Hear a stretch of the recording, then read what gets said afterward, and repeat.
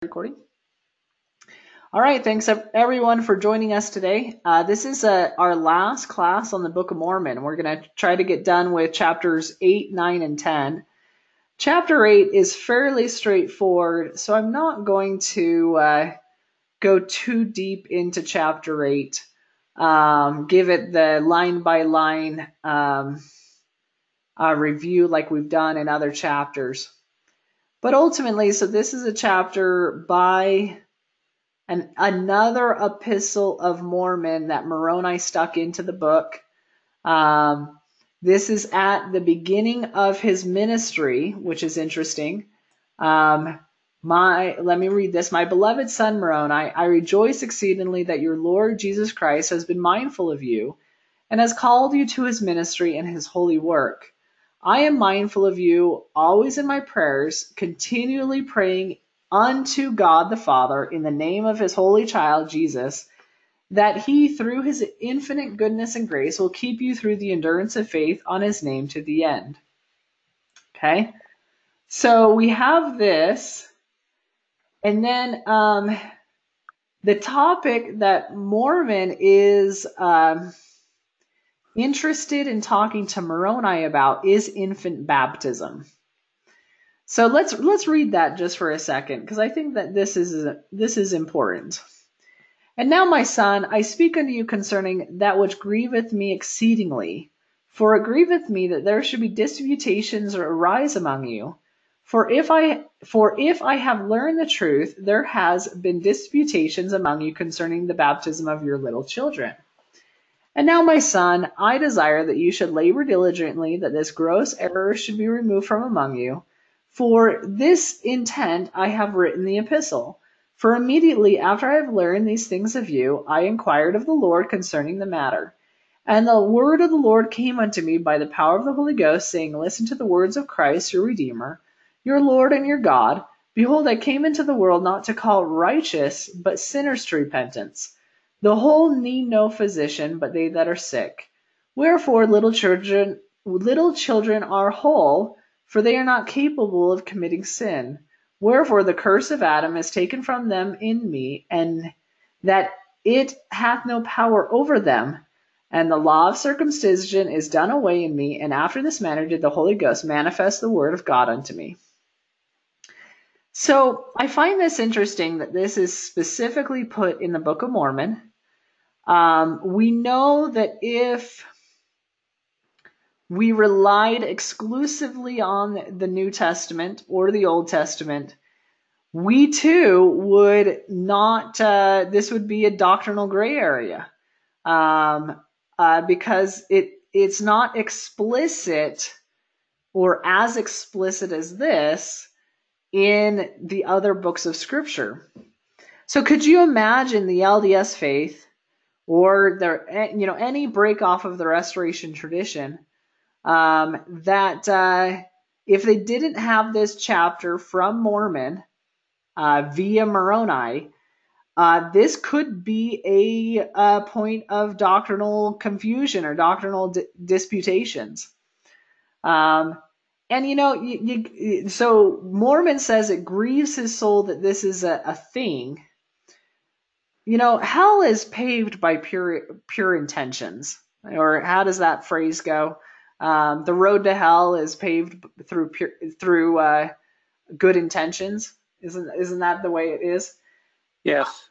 I I am sure. Thank you. I'm sure that uh, those who were disputing with each other weren't doing it in malice, uh, you know, uh, or spite or hate, or maybe, but I, I doubt it.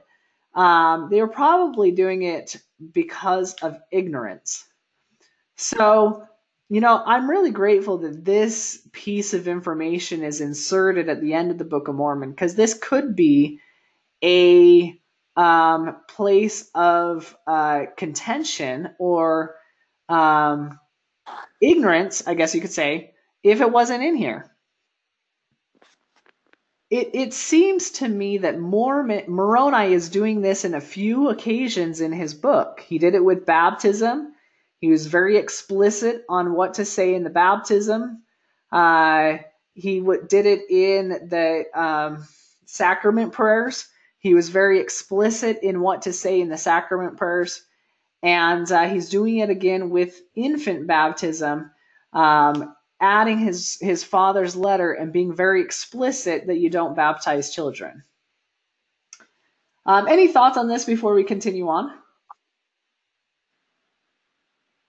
This was a big issue, of course, for the Anabaptists and the early Protestant reform, uh, reformers.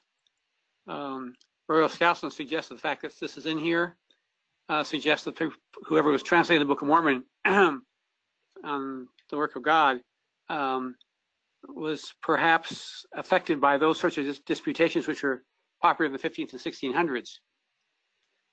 Um, so I thought that was an interesting observation. Yeah. Well, and you think about it. So uh, Christ, when he comes to the Americas, the first thing that he does is become a little bit more, he become ex- explicit on the doctrine of Christ. And he references that there were disputations about the doctrine of Christ. Um, and, you know, it, it, it it's nice that that isn't a the test that we have isn't uh, um, that one where maybe the the doctrine wasn't as explicit to them as it is to us. Um, so it is nice really having that. I think that the problem is is we frequently just ignore the book altogether and, and don't care about baptism at all. So we all have our, our own tests but we know that uh, Mormon makes this quite uh, explicit. And he goes in and he goes into uh, why it is um, children don't have repentance, they're not capable of sinning. Um, they're still in the Garden of Eden. When you're still in the Garden of Eden, um, you don't have the the the the understanding of good and evil um, like an adult or an older, an, uh, you know, a young, a young adult who has the ability to to tell right from wrong. So children, you know, it talks about um, um, they teach parents that they must repent and be baptized and humble themselves as their little children, and they shall be saved with their little children. And their little children need no repentance, neither baptism. Behold, baptism is unto repentance to the fulfilling of the commandments unto the remission of sins. But little children are alive in Christ from the foundation of the world. Um, children are still, as I said, children are still in the Garden of Eden. Um, they haven't been, they haven't partaken of the fruit. Uh, so it, it makes no sense to baptize a child who has not partaken of the fruit. Uh, um, now, what I really like, if not so, God is a partial God and a changeable God and a respecter of persons. For how many children have died without baptism? Wherefore, if little children could not be saved without baptism, these must have gone to endless hell. And behold, I say unto you that he that supposeth that little children need baptism is in the gall of bitterness, in the bonds of iniquity, for he hath neither faith, hope, nor charity. So uh, God would be a partial God if that was a thing. And then you think about it, let's think about this logically. If a child um, didn't have the capacity to know right from wrong and then is cut off without the law without the, the ability to decide, then of course God is a partial God because the, the child has no agency. You cannot say a child has agency if the child is unable to accurately discern right from wrong.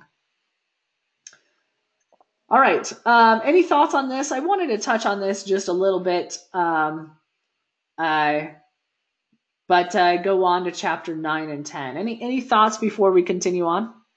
It, it's my understanding that Pope Francis has just changed or at least modified or attenuated the Catholic teaching on the subject on limbo. And uh, he's effectively done away with limbo, which is where uh, children would go who are unbaptized. Does anybody know anything about that? I I don't know. I, I don't really follow Catholicism. Yeah, uh-huh. yeah, yeah, and and it's, this that's not only true of Catholicism; it's true of you know Greek Orthodox and and uh, Coptics too. Um, limbo is where the souls of the unbaptized infants go, but and that's been a big issue for a very long time. But Pope Francis has just changed that within the last few months. So that uh, it's interesting that they're reconsidering that doctrine. Yeah, yeah. Finally catching up with Moroni, I guess. well, I hope. Okay, well, I'm going to go off to uh, chapter 9. All right, so in chapter 9, this again is an epistle from Mormon to his son Moroni, um, the second epistle of Mormon to Moroni. And, um, God, it's interesting. It, the, the tone of this, the tone of this uh, chapter is um, is unfortunate. Um, because uh, there's a lot of uh, bad stuff going on. So let's let's jump into it. I'm going to go halfway down the first paragraph.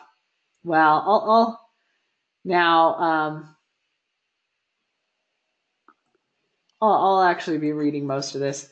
And now, behold, my son, I fear lest the Lamanites shall destroy this people, for they do not repent. And Satan stirreth them up continually to anger one with another. Behold, I am laboring with them continually, and when I speak the word of God with sharpness, they tremble and anger with me. And when I use no sharpness, they harden their hearts against it. Wherefore I fear lest this, this word, bless you, has ceased striving with them. For so exceedingly do they anger that it seemeth me that they have no fear of death and they have lost their love one towards another, and they thirst after blood and revenge continually. And now, my beloved son, notwithstanding their hardness, let us labor diligently, for if we should cease to labor, we should be brought under condemnation. For we have a labor to perform while in the tabernacle of clay, that we may conquer the enemy of all righteousness and rest our souls in the kingdom of God. So the t- tone of this is really unfortunate. Um, Mormon is definitely lamenting, but there's a there's some pieces of information in here that you actually hear throughout the Book of Mormon, where it says, "And when we use no, is start the sentence before that." And when I speak the word of God with sharpness, they tremble in anger with me. And when I use no sharpness, they harden their hearts against it. So in the book of, um, God, I believe it's the book of Jarom, it says essentially the same thing. Um, but uh, Nephi, in the book, the, fir- the first book of Nephi, uh, laments against this.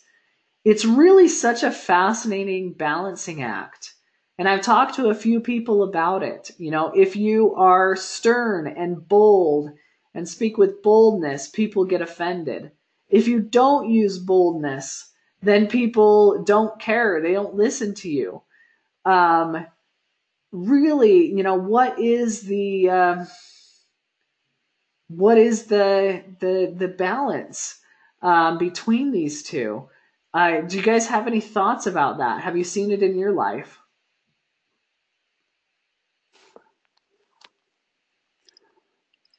Well, it used to happen as a missionary periodically, and you know you felt strongly to call people to repentance. I never seen it actually be very effective, however. I have too, and I, I've seen the effectiveness of of. Uh, I mean, in both in both situations, being bold, I've seen um, people kind of you know, get shaken and woken up. And I have seen uh, using uh, calm, pure, pure, you know, just simple language um, without boldness also be effective. The hypothetical that I see with this is, you know, we look at Nephi and his his uh, his interaction with Laman and Lemuel.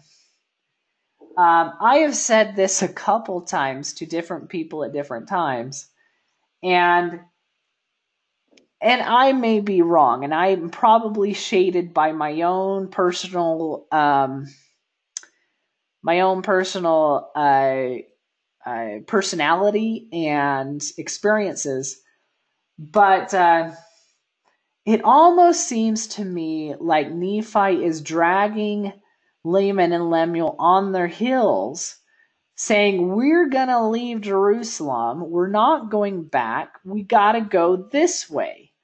Um, but they keep on wanting to go back, almost like the wife of Lot when uh, they leave uh, Sodom and Gomorrah, that uh, they long to go back to their life before, but Nephi's, Nephi's continuing to go. Um, it seems to me that Lehi used, uh, I mean, it was uh, it was a balancing act where Lehi seemed to be the one who was uh, soft and um, they hardened their hearts um, against. And Nephi was the one who was sharp and they were offended. And if you look at the father and the son, they both they both exhibited the, the two different characteristics of no sharpness and sharpness. And they both didn't listen to Lehi and they didn't listen. They called Lehi a visionary man. They complained against Lehi. Um, they asserted control over the ship on the way to the promised land without regard to Lehi. Um, and they also uh, used Nephi used sharpness, and they were offended and tried to kill Nephi. Um, so I, I just don't know. I mean, it, it's it's it's difficult. That that's I think a very interesting observation on your part. Well done. Um, but let's uh let's uh continue on. So, God, we have some lots of crap going on with the Nephites. Um, I don't really want to go into it to be honest. Um, but you have uh murder, rape, cannibalism, um stuff that's really, really bad. I mean, this is like concentration camp, World War II type stuff. Um, but it's with the covenant people. Um, it's with it's with Israel. It's with a, a remnant of of Jacob. Um, so you know you don't you you, you, you golly what it's just fascinating. It, it seems to me that the higher you are elevated, the harder you fall. And this society received um, uh, a Zion for a couple generations, or at least the the outlines and the fruit of a Zion for a few generations, and they were elevated very high. Um, they were blessed exceedingly and then they turned their backs, rejected the truth, and they fell farther than than than uh, most, which is really unfortunate. I don't really want to go into it to be honest, because uh, that's about it. Um, uh, I do want to touch on one or two things in paragraph three, though. Um, I where was it? Um, starting with they. Where's they? All right, so they, they, they. Goodness, I can't find they. Um, carried away, fruit, old men. Sorry, I'm trying to find pattern my notes versus inside the the um. Aaron, where is Aaron? Am I looking at the wrong paragraph? Chapter 9, chapter 9. All right. Oh, the game. Yep, there it is. And as uh, and I actually want to uh, and as many as have fled unto the army of Aaron, they have fallen victims to their awful brutality. Oh, the depravity of my people! They are without order and without mercy.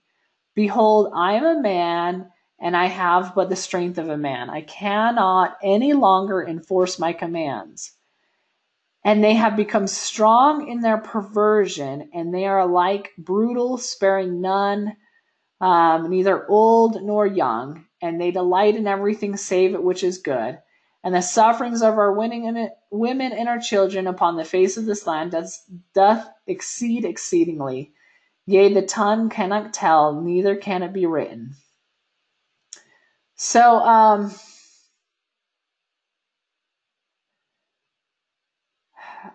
I think the one thing I wanted to highlight here, and what I underlined as I was going through this, is uh, they are without order and without mercy. What do you mean? What do you think it means by without order? Does that mean that there was a structure that they, you know, lined up for lunch, you know, one at a time and walked down the hall? I mean, what type of order are they talking about?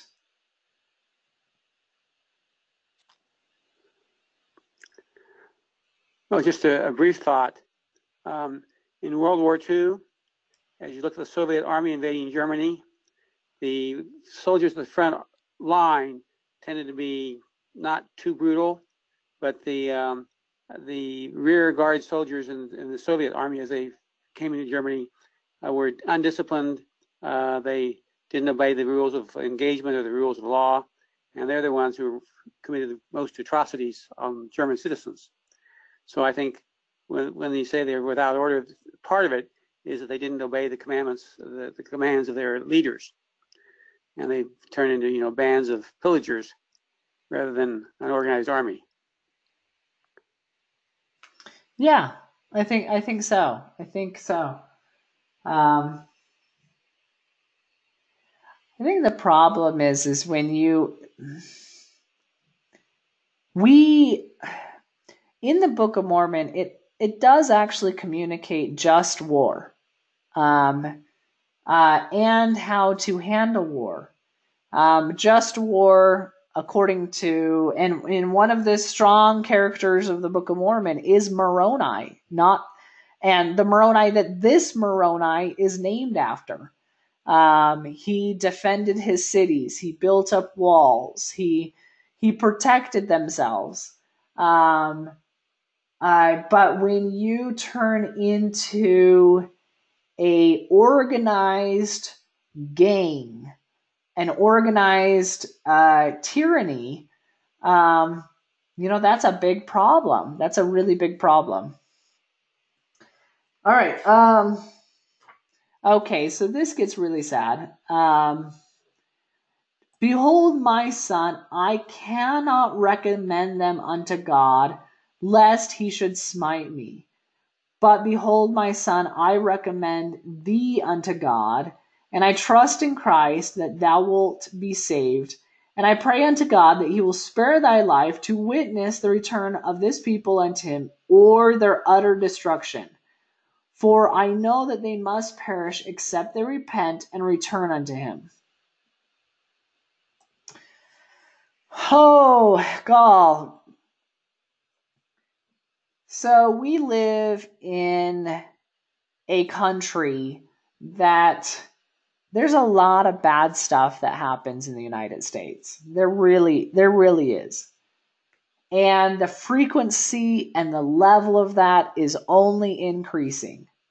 Um, we might be at the cliff. I still think that there's a little ways before the cliff for us we're definitely approaching it and we're approaching it at a rate that is alarming.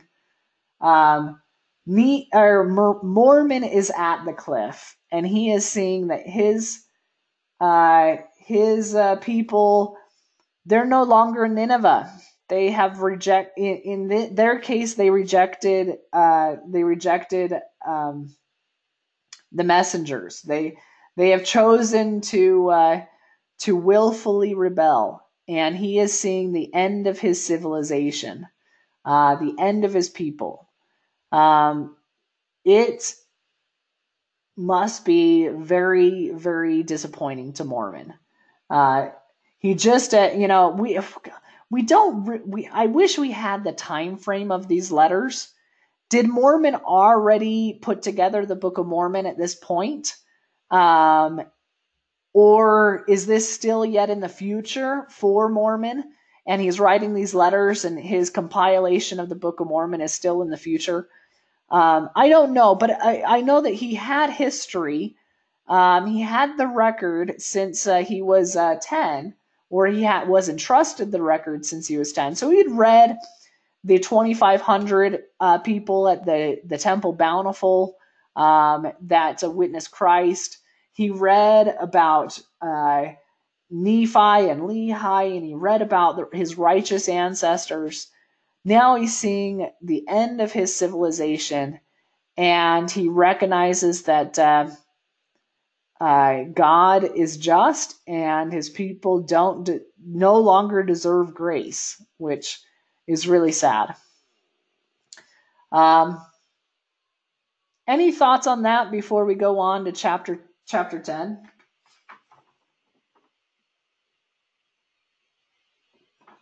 Okay. All right, the last chapter of the Book of Mormon.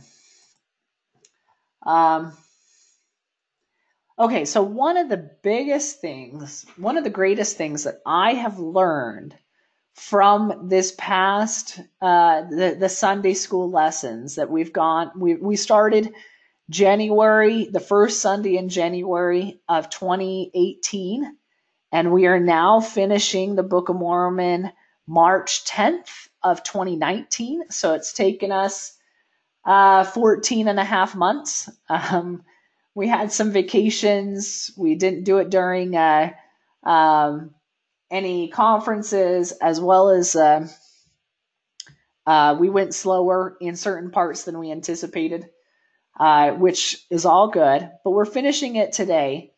One of the things that I have learned the most is I've been very conscious about who is getting addressed in the chapters.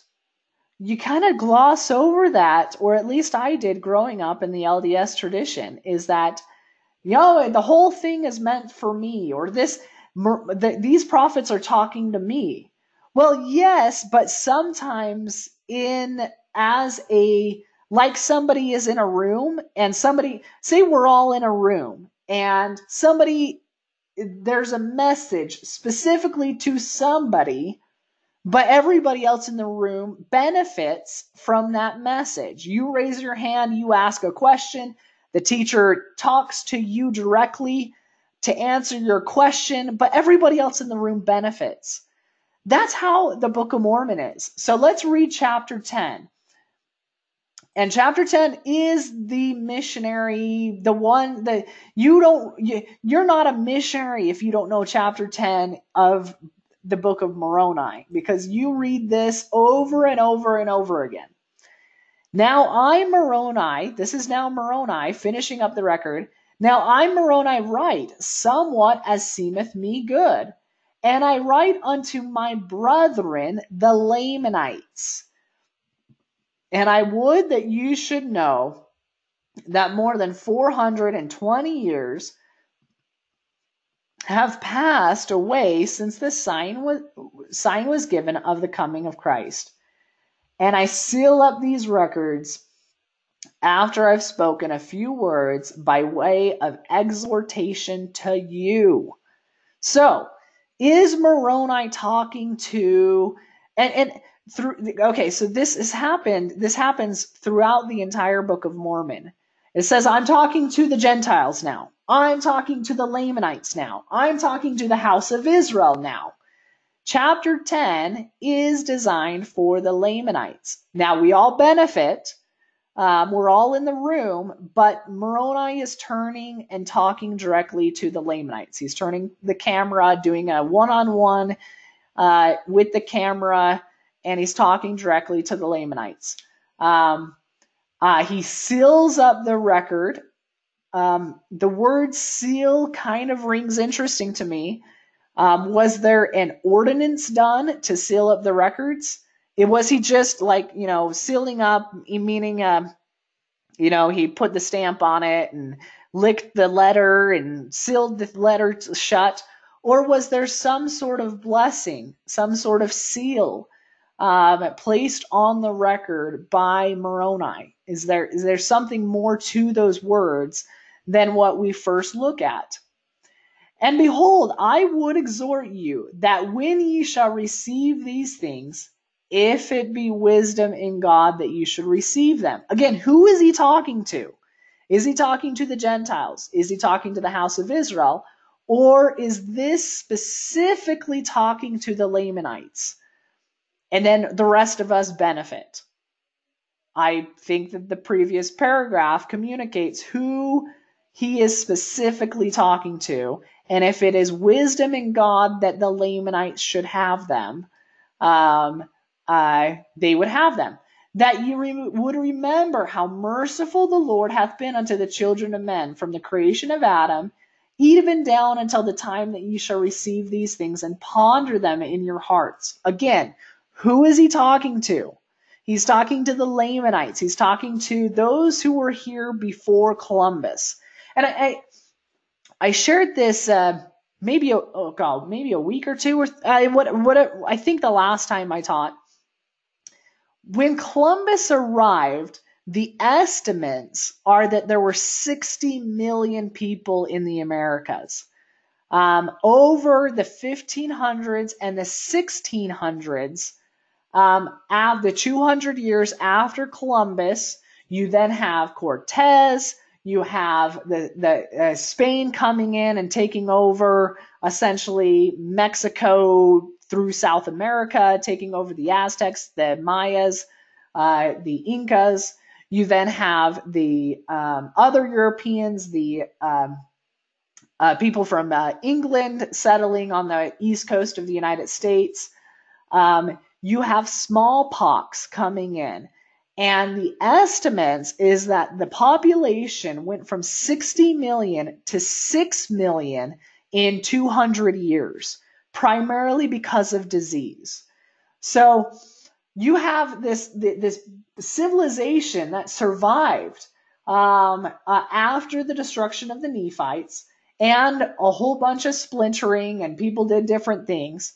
Now Mormon Moroni has seen this and he says, if it's wisdom in God for you guys, you guys, the Lamanites, to receive this, remember the Lord and his children all the way from creation.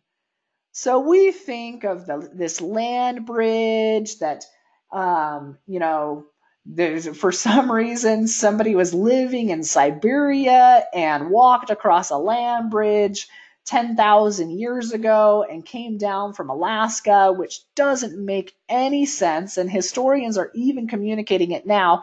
If that was the case, the culture cores of the civilizations of the Americas would be on the west coast of the United States because that's where they would have come and they would have settled in California and in Washington and in Oregon. But that's not where the culture cores were. The culture cores were in uh, Maya. They were in the east coast of the United States. Uh, they were in other places. So you guys, you didn't, you came just like us from Adam. God has been merciful to you, Lamanite. And if you receive these things, and when ye shall receive these things, I exhort you, Lamanite, that you would ask God, the eternal Father, in the name of Christ if these things are not true. And if you ask with a sincere heart, with real intent, having faith in Christ, he will manifest the truth of it unto you by the power of the Holy Ghost, and by the power of the Holy Ghost ye may know the truth of all things. And whatsoever is good is true, just and true.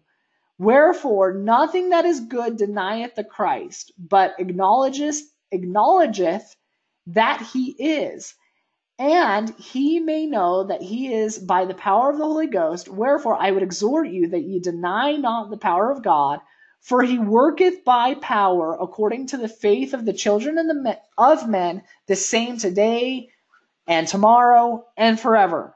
Okay. It's a pretty meaty paragraph right there. I love how it's a paragraph and not broken up into seven verses or how many it is, but it's all together, it's all connected. You Lamanites, this is for you. I would exhort you, Lamanites, that if it's in wisdom in God, for uh, somebody dig up this record from the rock that I'm going to put on it, and you receive it, and it's translated, and it finds its way into your hand, that you should know that you didn't walk across a land bridge, that you came by boat from Jerusalem through covenant parents, Lehi and Sariah, and that you are a part of the covenant of Lehi and Sariah. And this is your this is your record. And if it's a record uh, from God and you ask in faith, the Holy Ghost will manifest the truth of it unto you by the power of the Holy Ghost. And you'll know that it's true because it will be good to you. It will be just. It'll exhibit, um, it will endow you with faith in Christ and power by the Holy Ghost. And by that endowment of faith, you will know that this is true. So, this is essentially what Moroni is communicating. Now, I'm going to continue on because the next thing that he says is very important because they're not and, and in the LDS tradition growing up, call this seemed like two different topics in chapter 10. Okay, I need it's the end of the book. I have a, something to say. I have a, I have a few different things I need to say and I need to throw them all in. They don't really re- relate, but let's just throw them all in. That's how I saw it growing up. But they're directly related. And again, I exhort you, my brethren, the Lamanites, that ye deny not the gifts of God, for they are many, and they come from the same God, and there are many ways that these gifts are administered. But it is the same God who worketh all in all, and they are given by the manifestations of the Spirit of God unto men to profit them. For behold, it is one to given by the Spirit of God that he may teach the word of wisdom, and to another that he may teach the word of knowledge by the same power, or teach by the same Spirit and to another exceeding great faith, and to another the gifts of healings by the same Spirit, and again to another that he may work mighty miracles, and again to another that he may prophesy concerning all things, and again to another beholding of angels and ministering spirits, and again to another all kinds of tongues, and again to another the interpretations of tongues of uh, and diverse kinds of languages. And all these gifts come by the Spirit of Christ and they come unto men severally according as he wills. I would exhort you, my beloved brethren, the Lamanites, that ye remember that every good gift cometh of Christ. Okay, so what is the premise? In paragraph two, he says, okay, you'll know that this record is true because of the manifestations of the Spirit. Paragraph three, what are the manifestations of the Spirit? They are exceeding great faith, gifts of healing, manifestations of the Spirit, ministering of angels, ministering of the spirits. These are the, this is then what you would receive. Now, if you go back to what Mormon is saying in his book, if we do not have angels, if we do not have the interpretation of tongues, if we do not have healings, if we do not have these spiritual gifts, or the leaderships of your churches don't have these, or the people within your churches, you don't have these, then it is because of faith. Your faith is incomplete, or is false, or is based off of the wrong thing, and you're not receiving these blessings. But if they it is true, then you would receive the gifts of the Spirit. They get connected. Now, I'm going to continue on because this continues to, to, to essentially reiterate what to expect. And I exhort you, my beloved brethren, the Lamanites, that you remember that he is the same yesterday, today, and forever, that all these gifts of which I have spoken are spiritual, never will be done away, even as long as the world shall stand. So if God, going back to uh, Nephi in his book, has God given his power unto man and finished his work? No, we, we have it right here. These gifts of the Spirit, the same ones that are in the New Testament, the same ones that Alma and Abinadi and Amulek and Mormon and Moroni and Nephi and Lehi, all of them are the same and they continue until the end of the world, until the world stands. Only according to the unbelief of the children of men. Oh, okay, never will be done away.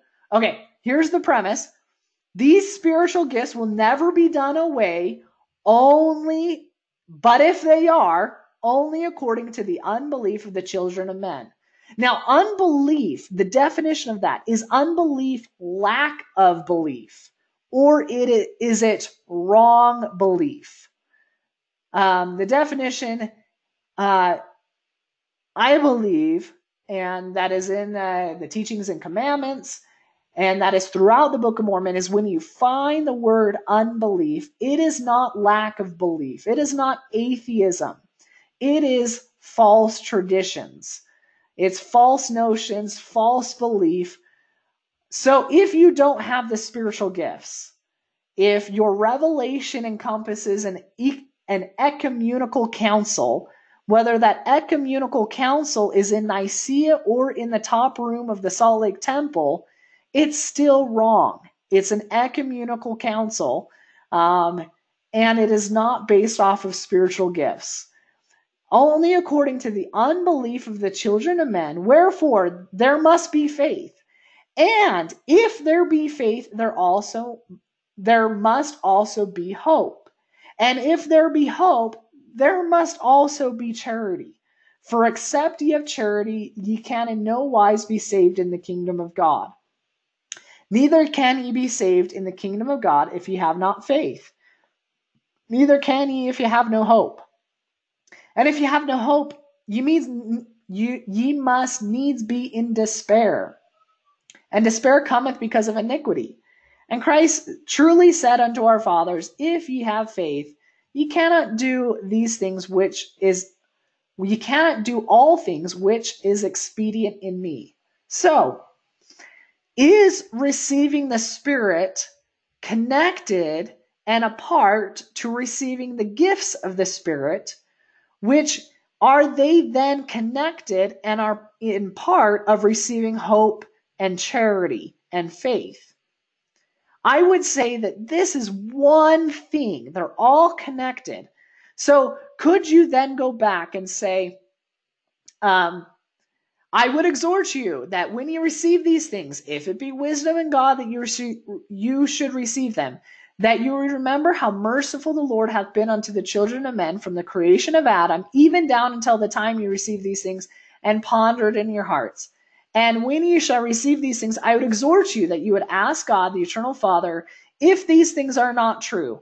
And if you ask with a sincere heart, with real intent, having faith in Christ, he will manifest it unto you by, let's insert some different words, by the manifestation of spiritual gifts and or by faith, hope, and charity which are planted in your hearts by the power of the Holy Ghost. I mean, you could you could go right here and add parentheses or brackets um, and say, uh, and he will manifest the truth of it unto you by br- bracket the manifestations of the Spirit, the, uh, the teaching the word of knowledge, teaching the word of wisdom, teaching, receiving the gifts of healing in the Spirit, receiving mighty miracles, receiving angels, receiving tongues, receiving ministering spirits, receiving the interpretation of tongues,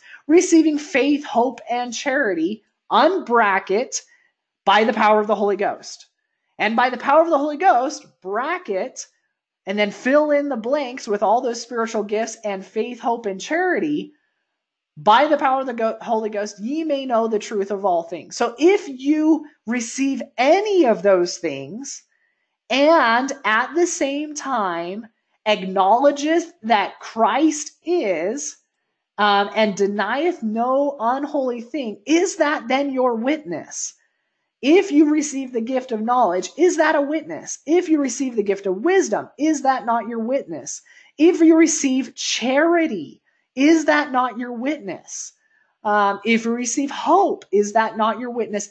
And with the qualification, it acknowledges Christ. Because if it denies Christ, then, then the adversary can imitate those, but the adversary cannot imitate uh, faith in Christ. Uh, no man serves two masters. He either hates the one and loves the other. The, the adversary won't do that. Um, all right, let's uh, uh, continue on. And now I speak unto all the ends of the earth. Okay, right here. We, I've, I've pointed this out a few times throughout this book of scripture. We're in the room. The question or the, the comment was directed at the Lamanites. Now the rest of the room benefits for what was communicated directly to the remnant of Jacob or the remnant of Joseph. Um, now the, the, the teacher pivots and is talking to the entire room. And now I speak unto all the ends of the earth, that if the day cometh that the power and gifts of God shall be done away among you, it shall be because of unbelief.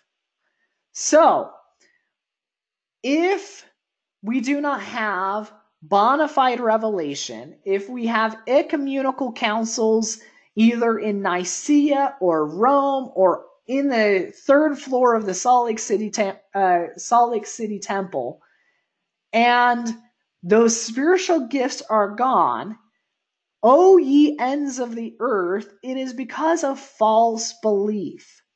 And woe unto the children of men if this be the case, for there shall be none that doeth good among you no, not one. For if there be one among you that doeth good, he shall work by the power and gifts of God. Okay. I want to address this just for a second. Um, what good is Moroni talking about? Because there's definitely levels of good.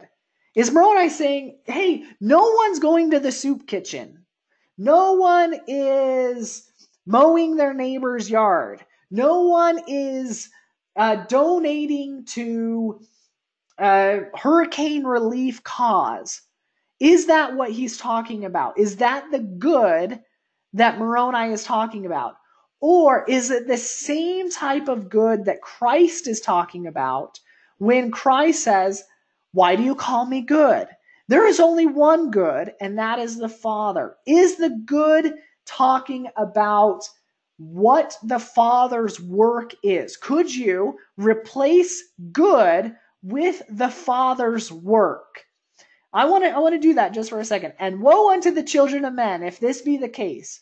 For there shall be none that doeth the work of the Father among you, no, not one.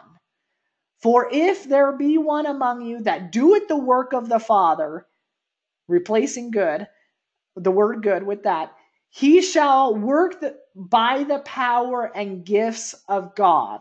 So, can an atheist, can a Mormon, can a Baptist, can a Hindu, can a Buddhist, can a agnostic, can a Catholic do good in the sense of serving their neighbor, um, mowing the lawn, taking food to the homeless, doing a bunch of good, is that the good that Moroni is talking about? Or is the good doing the work of the Father?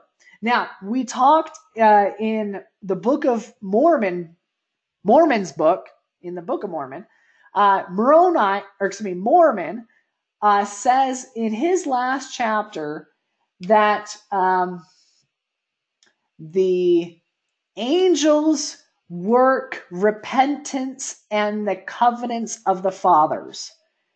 Could you then say, well, what is the work of the Father?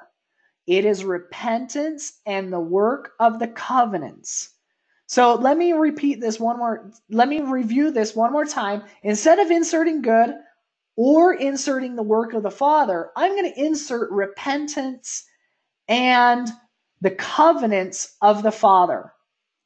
And now I say unto you, all ye ends of the earth, that if the day cometh that the power and gifts of God shall be done away among you, it shall be because of false belief, replacing unbelief. And woe unto the children of men if this be the case, for there shall be none among you which work repentance and the covenants of the Father among you. No, not one. For if there be one among you that do, doeth the repentance and the covenants of the fathers, he shall work by the power and gifts of God. So if you're doing the work of the covenants, you receive the gifts, the spiritual gifts of God. And woe unto them which shall do these things, er, woe unto them which shall do these things away and die, for they die in their sins, and they cannot be saved in the kingdom of God. I speak it according to the words of Christ. I lie not. I exhort you to remember these things, for the time speedily cometh that ye shall know that I lie not. For ye shall see me at the bar of God, and the Lord will say unto you, Did I not declare my words unto you, which were written by this man, like one crying from the dead? Crying from the dead. Should we uh, turn to these people, uh, these fathers crying from the dead? Yea, even one as one speaking of the dust, I declare these things unto the fulfilling of the prophecies. For behold, they shall speak forth out of the mouth of the everlasting God, and his word shall hiss forth from generation to generation. And I, God, shall show unto you that that which I have written is true. Now I'm just going to finish this. Um, we are still under the brackets of I speak unto all the ends of the earth. So we have moved past just speaking to Lamanites. We are still under Moroni speaking to all the ends of the earth. So this paragraph is really important. Um, and I'm going to even insert the first top of uh, paragraph five. And now I speak unto you all ye ends of the earth, comma. And again, I exhort you, all ye ends of the earth, that ye come unto Christ and lay hold on every good gift, and touch not the evil gift, nor the unclean thing. All ye ends of the earth, awake and arise from the dust, O Jerusalem, yea, and put on thy beautiful garments, O daughter of Zion, and strengthen thy stakes and enlarge thy borders forever, that thou mayest no, mayest no more be confounded that the covenants of the eternal Father, which he hath made unto thee, O house of Israel, now we're house of Israel, may be fulfilled. Yea, come unto Christ and be perfected in him, and deny yourself of all ungodliness. Yea, if you deny yourself of all ungodliness and love God with all your might, mind, and strength, then is his grace sufficient for you, that by his grace ye may be perfect in Christ. And if by the grace of God ye are perfect in Christ, ye can in no wise deny the power of God. And again, if ye by the grace of God are perfect in Christ, and deny not his power, then are ye sanctified in Christ by the grace of God. Through the shedding of the blood of Christ, which is in the covenant of the Father unto the remission of your sins, that ye may become holy without spot. What are these beautiful garments? Is this just fanciful language? Is this just poetry that we should ignore? Or is there something about a beautiful garment that we must have at the wedding feast? And if we don't have this beautiful garment on, the master or the head of the wedding feast will cast us out. Um, why are what are the daughters of Zion? O daughter of Zion, strengthen thy stakes and enlarge thy borders. Is this is is Moroni just talking? Is Moroni talking to the LDS Church, or was this book written before? I mean, it, it's funny. It is what came first, this or the LDS Church concept of stakes? Is the stake what the LDS stake the thing that should be strengthened and enlarged, or is this a concept that uh, when Moroni is quoting Isaiah here, this is something very different. Are we Zion? What is Zion? The pure in heart? Um, those who are equal, um, those who have one heart and one mind. Should we put on this garment, this garment that represents priesthood? Should we put on this priesthood, this holy order um, that uh, is given to us if we accept it? Um, will that then strengthen ourselves, strengthen the stakes which we with which we stand on? Um, uh, are, is this what he's talking about? Um, now, just to finish up, and I'll, I'll uh, open up for questions. And now I bid unto you farewell. I soon go to the rest in the paradise of God until my spirit and body shall reunite, shall again reunite, and I am brought before triumphant through the air to meet you before the pleasing bar of the great Jehovah, the eternal judge of both the quick and the dead. Um, Moroni being brought forth triumphantly through the air. This is a guy that watched his entire civilization die. I don't know if Moroni had a convert. Maybe he did. It, we, we don't know. We just know that his civilization died. Why is he triumphant? Is it because um, we may not have any success in our work. But if we do what we have been called to do, we are triumphant. That we may be a, a Moroni, we may be a Ether who watches his civilization die in a cave. We may be um, an Abinadi who doesn't see the fruit of their labors um, but but uh, did what they were supposed to do regardless.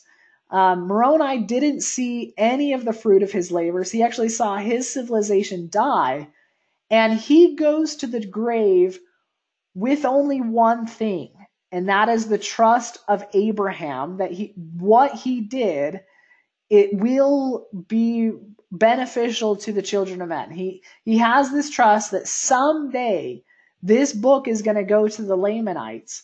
And at some day, the Lamanites are going to accept the book and recognize that they are uh, a part of the remnant of Jacob, the remnant of Joseph, who live here in the Americas. Um, but he didn't see the fruit, but he still was triumphant. All right, um, I'd love to stop. We're we're uh, we are pushing up against our hour. Any thoughts before we finish? we appreciate your your efforts over the last year and a half or so. Thank you, thank you. Um, so just for those that um, that listen to this and you guys, um, we're, we're uh, Jeff is gonna hop off. Um, he has some other commitments that he's gonna he has. Um, I'm gonna take a three week break um, and start on April 6th and I'm going to do uh, the New Testament, um, the Restoration edition of the New Testament, but I need to move the time to accommodate uh, family uh, family requirements. So I'm going to move the time to 8 p.m. Mountain Time um, on Sunday evening. So if anybody is interested in joining at that time, I'll, I'll be doing the New Testament. Um, uh, I will be posting it on uh, the same YouTube channel, so if you want to listen to it afterward. But I, I've started the New Testament, um, uh, jumped ahead, and reading the Restoration Edition with the New Testament is so different. I've never read the New Testament the same. Um, the JSTs that were inserted, which is just as a uh, an update, or I mean, an overview. That so the Restoration Edition of the New Testament, we have the entire JSTs plus anytime in Joseph Smith's lectures, which he did this frequently, he said he would read a passage and he said, if I were to um, translate this, this is what I would say. All of those are in there as well. So it is the most correct version of the New Testament according to the knowledge of the restoration. So we're going to begin that. Um, and uh, we'll start that on April 6th at 8 p.m. Mountain Time for anybody who's interested. Is that Mountain Standard or Mountain Daylight? It is Mountain Daylight. So. Hey, uh, Bryce, I will, won't be able to attend at 8 p.m., but I will listen to your recordings. And I just wanted to thank you for the many insights and thorough uh, ponderings that you've shared with us. I've enjoyed your lessons a lot. Okay, so I will have to listen by recording, and I will. Okay, thanks. Sounds good. Sounds good. Well, thanks everyone, and thanks for joining us today. This has been a lot of fun, and and uh, I've enjoyed it a lot. Okay. Take care. All right. Thanks. Bye.